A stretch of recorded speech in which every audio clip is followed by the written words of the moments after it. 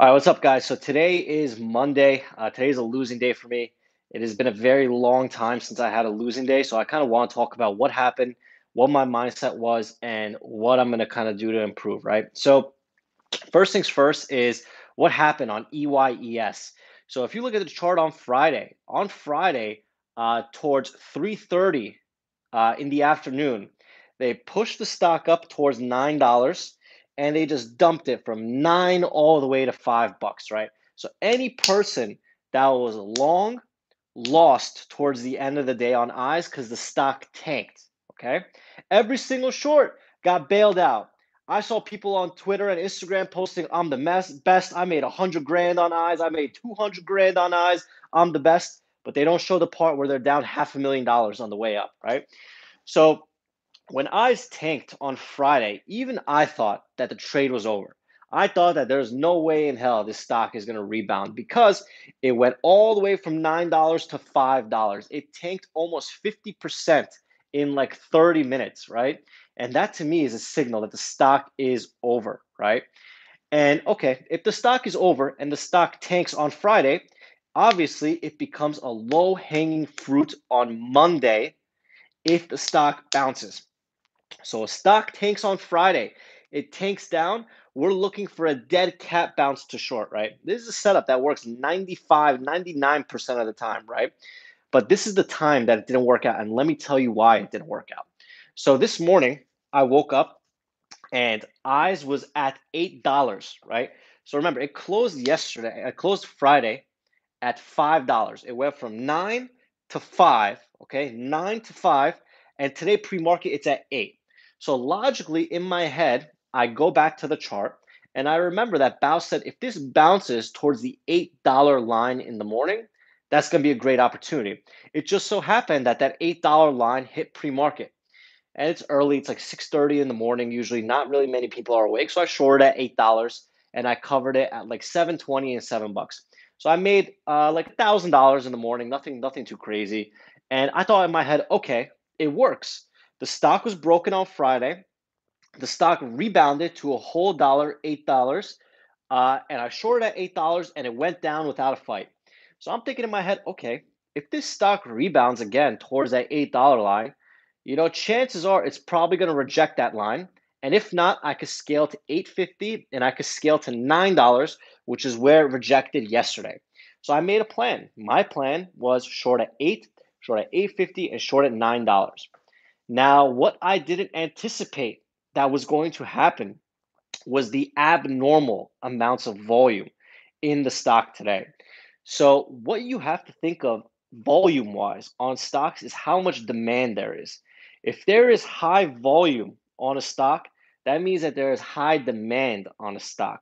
You know, a stock like Eyes that traded 700 million shares of volume on Friday is a high demand stock right? Even though it tanked, even though it tanked at the close, it still has people's attention. Now, what happened today? So all of a sudden, it goes from eight dollars pre-market, and then it goes down to uh, seven dollars pre-market. It kind of consolidates and finds its way back up to seven fifty, finds its way back up to eight dollars, and now it's at eight fifty, and now it's at nine.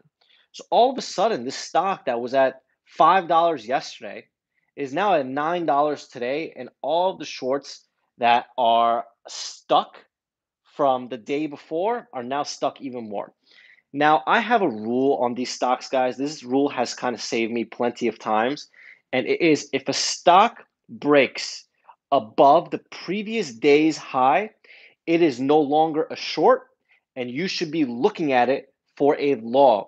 So, Friday, the high of the day was $10 on eyes, right? So $10 was the high of the day on eyes. And today, pre-market, it was at 8, 859. Logically, what this tells me in my head is that okay, if this stock breaks above $10, which is Friday's high, the shorts from Friday, the shorts from today are all going to be stuck. The longs are going to want to buy for that breakout higher, and then we have a domino effect of the stock going higher. So I kind of recognize that in my head, but for whatever reason, I just really didn't even go along the stock. It's, you know, that's the problem that I have, guys, is I'm very uh, short centric, meaning I do very well on the short side, and oftentimes I forget that I could buy these stocks too. So in my head, I kind of recognize that you know eyes was not a short above ten dollars, Friday's high, and then what happened uh, at the open is that the stock ramped up to eleven dollars, tanked all the way back down to nine dollars, and now I'm thinking in my head, okay, uh, it just showed us that the top is set. It just showed us that maybe that was the exhaustion move. And let me take a short. I took a short, very small size, like 2,000 shares, 3,000 shares. And all of a sudden, it jumps up a dollar. All of a sudden, it halts up $2. And now, in the blink of an eye, you know, this small scalp turned into me losing like six grand in like literally like two minutes. Like, actually, like something, something so bizarre.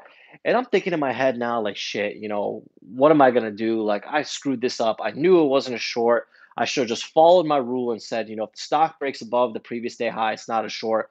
Why am I looking for trades? Why am I doing this? Why am I doing that? And then I thought to myself, shit, it's Monday. You know, this is typical Monday FOMO syndrome. You know, a rule of mine was to not trade stock if it broke above Friday's high. And I got too confident. I got too cocky. I got too comfortable. You know, this year, uh, three months into the year, I'm up a million dollars. Last year, it took me all year to make a million dollars. So I'm doing very well on the year.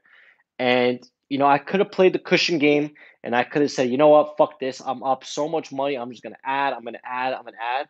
But what I'm most proud of today, guys, is that I just took my loss like a man. You know, it doesn't matter if I lose a thousand dollars, doesn't matter if I lose ten thousand dollars. You know, it still hurts the same way. But I had to remind myself that the worst losses as traders come from when we are the most confident.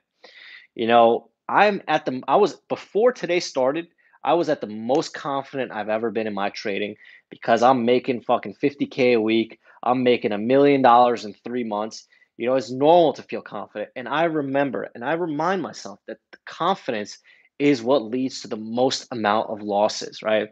So rather than fighting today, I manage my risk I gave myself a number. I said, I'm not allowed to lose more than $10,000 on this stock today, right? And the reason why I chose $10,000 is because that's pretty much my daily P&L. I make anywhere between five to $10,000 a day. So I said, you know what? I'm not allowed to use more than 10, I'm not allowed to lose more than $10,000 today. And you know what? When it hit that number, I was like, that's it. I'm done for the day. You won. Good for you.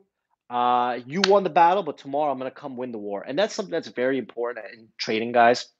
We need to remember that in trading, there's going to be certain things that we could do to make sure that our losses are kept under control. Because in trading, it does not matter how much money you make. I could teach someone, Bao could teach someone, James could teach someone how to make money every single day. The problem is that most people don't know how to keep that money in their pocket because they start gambling. So let me give you guys some advice that helps me and that we have kind of back tested that we know works. Number one is you need a max size on the day. It doesn't matter, you know, let's say the max size is a thousand shares, right? You need a max size at the broker level. So you need to call your broker and say, hey, I am not allowed to use more than a thousand shares on the day. And they are going to lock it so that no matter what you do, you are not allowed oh shit, GameStop's going to 190. No matter what you do, you are not allowed to use more than that size. That's number one, max size at the broker level. Number two is max loss at the broker level. So let's say you make $100 a day or $200 a day. Go to your broker and tell them, I want you to lock me out whenever I'm minus $200 on the day. That way, you are not able to physically lose more than one of your day's work which means that you'll be able to make it back the next day. The problems happen when you start to spiral. You know, whenever you're in a loss, you guys know that feeling. You guys know the feeling of being a deer in the headlights. You guys know the feeling of just, I'm going to wait it out. I'm going to wait it out. I'm going to add. I'm going to do this. I'm going to do that. And I've been there so many times and I've blown up so many fucking accounts by just waiting it out and losing all the money in my account. So now, max loss at the broker level. So as long as you have a max position size at the broker level and a max loss at the broker level, there will be a ceiling to your losses every single day. You will not be able to pass that ceiling. And that'll make sure that you keep the money in your pocket. Because, for example, if you make $100 a day, right, and you make $500 a week, and you let one $1,000 loss, right? You let a $1,000 loss kill you. Now you just lost two weeks of work. And most of the time, if the stock surpasses that max loss level that you have in your head, that you have at the broker level, it's probably going to continue to fuck you up even more, right? You know how many times in my trading career that I said, if I just had a $10,000 max loss, this would change my life. You know how many times I've lost $50,000, $100,000, $200,000 in one day that if I just stopped at my $10,000 max loss, I would probably have another million dollars in my bank account. And that's something that I want you guys to understand before it's too late. So if you take one piece of advice from today's video, it is that you need to call up your broker and set a max size at the broker level and a max loss at the broker level to protect you. I have my max size and my max loss at the broker level. There is going to be a ceiling every single day that I cannot surpass if I get to those levels, right? And that is what's going to help you, and that's what's going to help me today, right? So yeah, it sucks. I lost ten thousand dollars. Eyes killed me. It went from like eight dollars to fifteen dollars in like two hours. And yeah, most of the time, like shit, uh, I'm gonna make money on these setups, but the one or two times I don't make money, I don't want to lose a week's worth of work. I don't want to lose a month's worth of work, and I don't want to lose a year's worth of work. You know, what would have happened if I started to say, okay, fuck this. Instead of using 3,000 shares on eyes, I'm up a million dollars. I'm going to use 30,000 shares on eyes. I'm going to just keep adding to my loser. And then maybe I'm going to use 50,000 shares. Okay, what happens if the stock goes to 20? Now all of a sudden my $10,000 loss is a $200,000 loss and I'm just like, what the fuck did I just do here? Right. And all because of my ego, all because I'm not using a stop. You know, today I screwed up too, guys. Why did I trade the hot stock of the day? I was so confident. I am so confident in my trading now that I thought that I could go and slay the dragon myself. And Bao says it the best way. In all of these movies, the hero always gets slain by the dragon, right? So I don't want to be the guy that's fighting the dragon. I don't want to be that guy that's going after that. I want to be the guy that goes after the girl after the hero is dead. As soon as the hero is dead and the girl's all upset and she's alone, let me come in to swoop in for that, right? And that's what ANCN was today. That is what Tesla was today, right? So ANCN, guys, was a side stock of the day. So as eyes is taking attention, as eyes is taking attention, ANCN is the side stock. This is a stock that not a lot of people are looking at. This is a stock that not a lot of people care about. And to me, that is the best opportunity of the day because if 100 people are watching eyes, then 10 people are watching ANCN. There is less competition, there is more idiots, and that makes it easier for a guy like me to be able to win. So, pre market, if you go back in MIC chat, you can see that both Bao and I agreed that 650 and $7 were the lines to short on ANCN. And let me give you a secret, guys. If Bao and I both agree on the same lines, nine out of 10 times that trade is going to work, right? And that's kind of where the tab program started, right? Bao and I would share lines together. We would talk about which stocks we like the best. And if a stock that we both agreed on had the same lines, we will both trade that with the most amount of size because that confirms both of our ideas. Whereas if he liked the stock that I didn't like and I liked the stock that he didn't like, meh, it doesn't fucking matter. But if we both agree on a stock, oh my God, that's the best one. So ANCN, you could see that as eyes was getting attention, as eyes was losing attention, this stock was going crazy.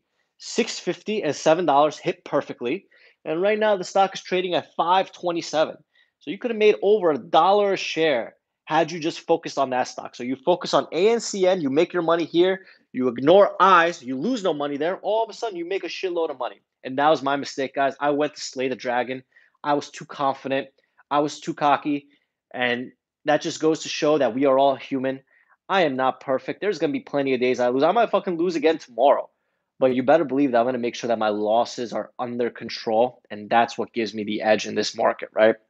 And Tesla, Tesla was a trade out of the watch list. We wanted to go uh, long as soon as it broke above green, uh, anticipating a market bounce.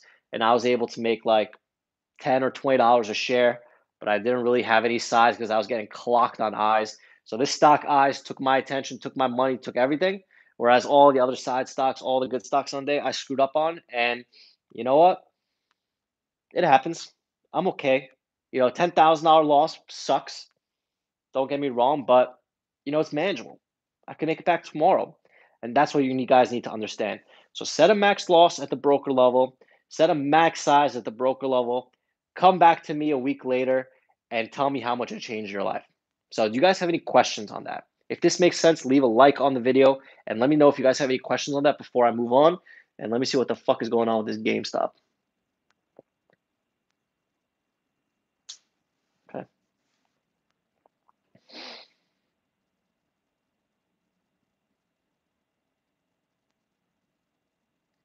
It's amazing to me that many people don't watch these videos. You know, we get like a thousand or two thousand views on these videos, and you know, it blows my mind because we're basically giving you guys all the advice for free. Yet all the pumpers, all the frauds, all the fakes are getting 10 times the amount of videos. And it just reminds me, guys, that there's so much dumb money out there. If you guys found this YouTube channel, if you guys found MIC, consider yourselves lucky uh, because eventually they're all going to come here. Eventually they're all going to want to learn. And the quicker and the faster you guys educate yourself, the less time there will be in between that there will be a learning curve, guys. So I'm proud of you guys for being in here, even though we only have 300 live viewers. Although this video is probably gonna get like 2,000 views, I know of those 2,000 views, you guys are going to be successful. And you know, we are here to help the masses, and that's gonna take some time. But if we're even able to help one person put their max loss, one person set a max size on today's video, you know what? It's worth it, right? Uh, so let's talk about NFTs, right? So I've been getting so many questions about NFTs, right? It's like it's like the Bitcoin thing all over again. Should I buy Bitcoin? Should I buy Ethereum? What's an NFT? Should I buy it? So let's kind of talk about that very quickly. So what an NFT is, it's a non-fungible token, meaning it can't be replicated. So what that means is basically think of these as digital art or digital collectibles. So imagine instead of having the Mona Lisa framed as a physical photo, you own the Mona Lisa in digital, uh, Bitcoin, crypto world code, whatever it is, right? And let me kind of explain why that was so important and what the hell happened and why this is so hyped up, right? Uh, so over, I think it was like last week or last month, uh, Logan Paul was uh, opening up a bunch of Pokemon cards, right? So apparently, Pokemon is like the hottest thing in the world right now and he had a Pokemon booster box that was worth a million dollars, and he was auctioning each one of the uh, packs inside the booster box for thirty thousand dollars, right?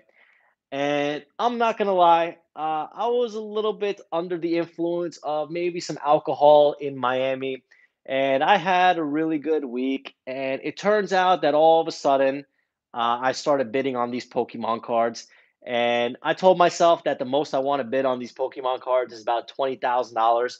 And it turns out that I won three packs for $33,000 each. And all of a sudden, I owed Logan Paul $100,000 with a $30,000 uh, auctioneer fee. And, you know, I thought about it for a second. I said, do I really want to spend 100 grand on Pokemon cards? And then I talked to Bao about it. And, you know, maybe we said, you know, we'll buy one of them and we'll do like a video and this and that. And, long story short, uh, I decided not to get any of the Pokemon cards. Uh, I decided not to pay for it. I told him I'm broke. I told him I have no money. I told him, sorry, I can't pay for these hundred thousand dollars in Pokemon cards. And they got kind of pissed about it, but I just kind of like disappeared. Uh, so anyway, when Logan Paul opened up these Pokemon cards, he also was selling an NFT. Uh, he was selling an NFT for uh, one that for one Ethereum. And at that time, the Ethereum was worth $2,000. So he sold about $3 million worth of NFTs in one day. And then the entire fucking world went crazy. Like, oh my God, NFTs, NFTs. This guy just created digital currency and from nothing, it cost him zero and he made millions of dollars, blah, blah, blah. And now everyone's talking about NFTs, right? And the way I think about it is like digital art. Do you want to buy art in the digital world? Do you want to do this and that? And to me, guys, I think this is a bubble. You know, I might be wrong. I don't really know what the hell is going on with this stuff, but I think it's going to be a bubble. I think that just like Pokemon cards and just like uh, baseball cards, you know, the Charizard is worth half a million dollars, and every other Pokemon card is worth like two dollars. So in the NFT world of like art and all this bullshit, there's probably going to be a couple that are going to be worth 10, 20, 50, 100, a million dollars, but 99% of them are probably going to be worth trash right? It's just like these altcoins in the crypto world. Bitcoin and Ethereum are the ones that people want to talk about. Ripple is fucking trash. Dogecoin is fucking trash. Everything else is fucking trash, right? And that's something that you have to keep in mind for these things. So when it comes to NFTs, I don't think you guys should believe the hype. I think that most of these things are going to be worth nothing. The 1% that are going to be worth a lot, I don't know what the hell is going to happen, right? I don't know what the hell is going to happen. Um, and I've been getting questions like, can you day trade these NFTs? Can I just buy a fucking piece of art and then sell it to some other fucking schmuck that wants it more? And the reality is, I don't know. I don't really care. It doesn't really matter to me. But if people are just messaging me about it, it reminds me that uh, the crypto craze is even crazier than ever. Uh, there's a lot of people that are believing the hype. And just like uh, the hype of Bitcoin and all these altcoins faded off and then came right back, maybe the hype of this is going to fade off. Maybe when the hype uh, fades off, there will be opportunities to buy these NFTs. But as of now, at the height of the hype, I don't think is the time where you should guys should be buying or caring about it. So that's just my two cents. I'm not a crypto expert. This is not investment advice. I'm pretty much half retarded, uh, but this is kind of what I think. And these, this is because I've been getting so many DMs about it. And yeah, so we could talk about Pokemon cards. We could talk about anything. Uh, maybe I really quickly. Let me show you guys the invoice of these Pokemon cards.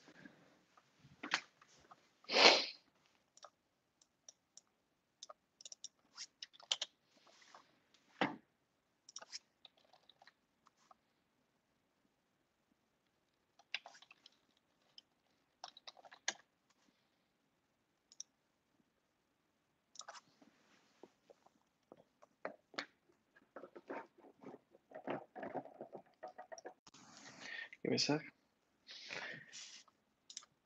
Let me find this really quick. Okay, guys, you guys want to see?